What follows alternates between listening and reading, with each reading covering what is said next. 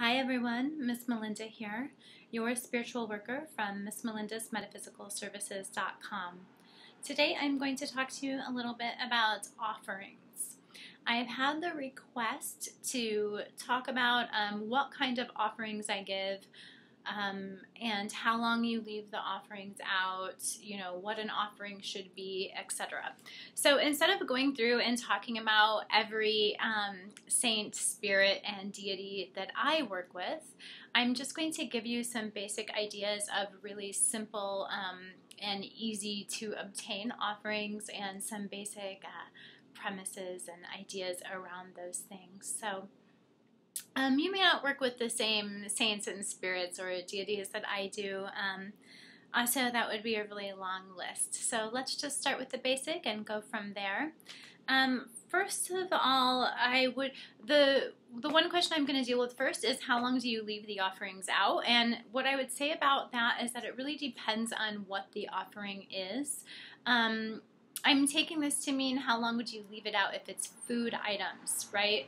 So if you are putting food on your altar, um, it's kind of up to you, but I would say, you know, you want it to remain fresh. You're not giving them an offering that is old and stale or um, even getting rotten. So use your own discretion. Uh, these offerings should stay out from anywhere from one to three days. Three days for me is usually tops. Um, I'm comfortable with leaving some items out for up to three days, depending on what they are. Um, as far as liquids go, I mean, you can really change those out daily. Um, the way that I think of it, if you're leaving out an elaborate food offering, it's probably a special occasion kind of event that you you have been working on um, in your spiritual practice or a special working that you've been working on. So that's kind of a, a bigger offering that you may want to leave out a little bit longer. Um, Uh, you know until the candles are completely finished or, or until you feel like the energy of that work is completely done as far as liquids go i usually put fresh water on my altar every day at least, if not fresh coffee or fresh alcohol. So liquids can really be changed out daily and you will see a big difference. It does make a lot of difference in your work when you have those fresh liquids on your altar. Um, speaking of liquids, I'm going to have a little tea here. Please excuse me, I've got a dry allergy throat today. So it is said that the spirits are always thirsty, so they always um, will take and enjoy water. So that is your very basic number one offering. And I'm going to go through a little list that I've made here and talk about some different items one by one. So black coffee is a really versatile offering. Um, that's something that I recommend that you always keep around. If you are not a coffee drinker, keep some coffee around for your spirits or your ancestors. That's the perfect offering for your ancestors, especially if you do weekly or daily work for them. Always set out some black coffee on your ancestor altar. Um, in addition to water, spring water is also a preferred offering when it comes to water.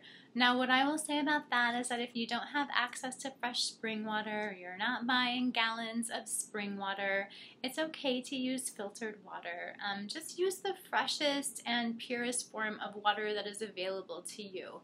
It's okay if you don't have the best water.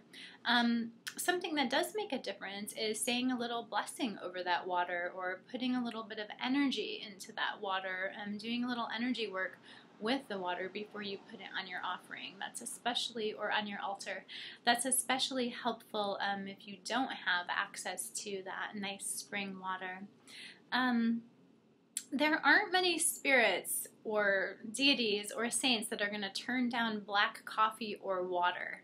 So those are your your two um, easiest offerings. Um, actually, I don't know of any that are not going to like those things. So you can pretty much use that for everybody.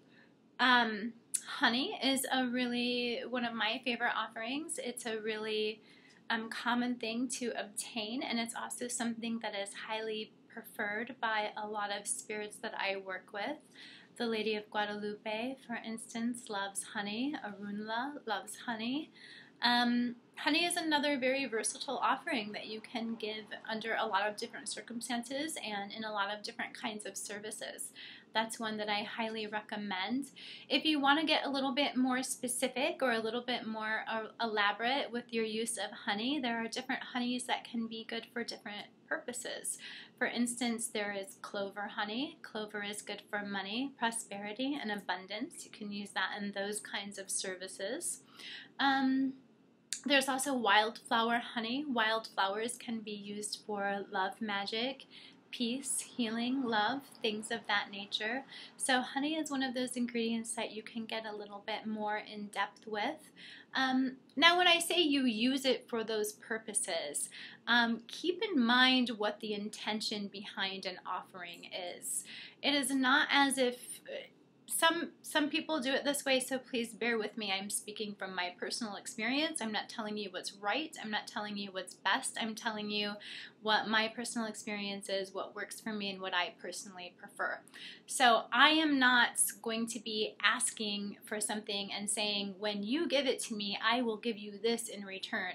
That's not how i treat my friends. That's not how i treat my family members and that is not how i would treat my relationships with spirit either. Um, i give out of the goodness of my heart as a sign of respect, as a sign of love, as a sign of wanting to build main, and maintain a connection.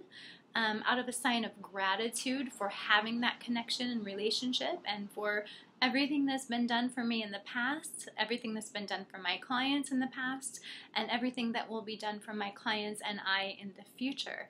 So, when I say, you know, for you can use a specific kind of honey for a specific person per- purpose, I do not mean that you're actually using it, you know, in the service per se. You are you are setting those offerings out with intent that it is an offering um, from gratitude, from respect. And I always put my offerings out before the services. I don't I don't play that game where you ask for something and then you give a reward later. That's not how I do it. Just a, a little side information there about offerings and the way that I work with them. Another really basic go to offering to keep around is alcohol. Two big ones are rum and whiskey.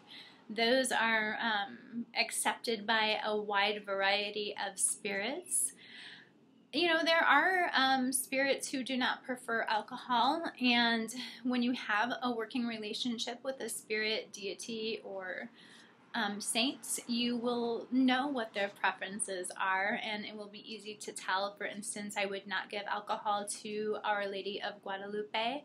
I do not give alcohol to Ganesha. Um, those are just two that pop into my head right away. But there are a lot of saints and spirits that do prefer, prefer alcohol. Um, wine is another one I didn't mention. Quite a few spirits like wine. So keeping some rum, whiskey, or wine around can be really versatile um, items to use for offerings for your ancestors as well, especially um, maybe on a special occasion or for a big service like um, Day of the Dead or something of that nature. Um, fruit. Fruit is a really great one. Um, citrus fruit is especially beloved by spirits. Some people say that they wouldn't use um, some people say that they wouldn't use lemons. I think I've heard people say they wouldn't use lemons because it's too sour, and that the point of using citrus fruit is like because the spirits are always thirsty and you want to quench their thirst. The experience that I've had is a little bit different. I don't look at it as quenching their thirst. I think that they just like the fruit. Um, it citrus fruit is specifically known to be to create a very strong connection to spirits, um, especially ancestors, but all spirits. So that's a powerful one to use. I do use both oranges, lemons, and limes with very good results. Um, it might be a personal preference of mine. I am a little bit odd myself that I will just um, suck on lemons and limes uh, as, as some a tasty treat for myself. Um, maybe my spirits prefer that too. I don't know. So I use all kinds of citrus fruits with very good results. Um, You can always share a part of your own meal, especially the first part of your meal. The first part of a home cooked meal or a hot meal um, take a small portion of your food and set it out for your ancestors or for your spirits, especially if you're working on something specific and you know you want to show some some um, extra gratitude or put some extra energy into that, give some extra offerings towards that. Um, putting out a piece of every every one of your meals is a really nice gesture. So you can always do that. You know, maybe you don't have a bunch of other stuff around. You can always share your meal. Flowers are a really wonderful offering. Again, I don't know of any spirit, saint, or deity that is going to turn down flowers. Now, some of them may have preferences for specific flowers, or they may dislike specific flowers. Um, that would be something that you know or find out more about if you have a, a good working relationship with the spirit, saint, or deity. Flowers are wonderful offerings for your ancestors. Flowers are wonderful offerings in very many cases. Carnations are really good. I find carnations to be really good for creating spiritual connection and also for um, kind of speeding up spiritual connection or like helping to build the relationship. I find carnations to be really useful in that there's something about their energy that um, really works well, is really conducive to that. Um, Marigolds are a flower that is a traditional offering for ancestors and for spirits of the dead, especially around certain occasions like the Day of the Dead. Or so flowers are something that you can get more specific with as well. You can do some research and use specific flowers for specific purposes. Um, and that is kind of a, a never ending avenue of offering there. Of course, you don't have to buy flowers, this can be something that's readily available to you that you can go and pick wildflowers or grow them in your own garden or yard or pots on your balcony. So that's a really good um, resource to have handy. Um, in the work that I do, the candle setups themselves are considered an offering to the spirits or saints or deities.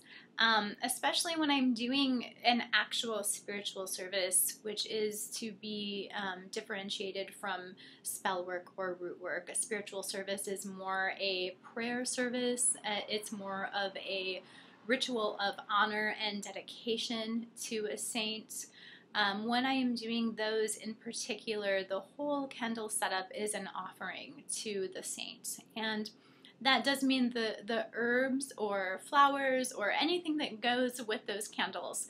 It's, excuse me, it's all an offering. So that is a really nice a nice thing to think of when you are preparing those services or when you are working with a saint. Um, if you want to get a little bit more elaborate, you can cook special meals you know, you can learn what the different spirits, saints, and deities prefer, and you can cook special meals from for them. You can get as specific or as elaborate as you would like. I've known people who um, bake loaves of bread for their spirits on a regular basis. Bread is a really popular um, food item for an offering for ancestors specifically, or for guardian spirits. Bread is a great one to have around. Home cooked, of course, is always better.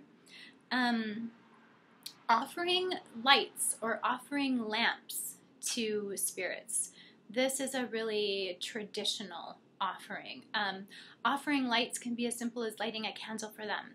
Light a taper candle. Um, I often use taper candles as additional offerings when I'm um, when I'm taking time out to just honor my spiritual frame or connect with my spiritual frame or spiritual family.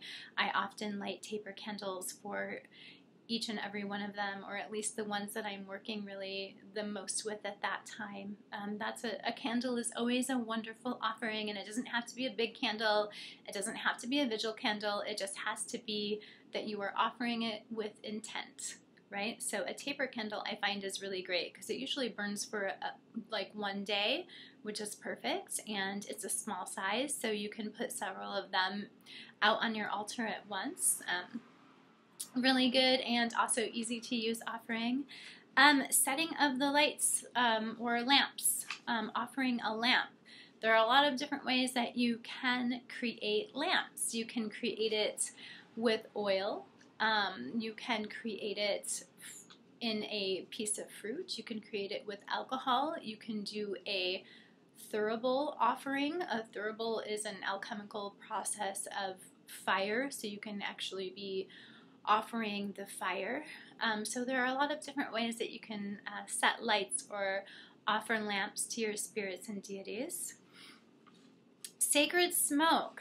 I offer smoke very regularly, and I think that it's something that is really overlooked by a lot of people. Um, as I say in some of my reporting, sacred smoke is an offering in and of itself.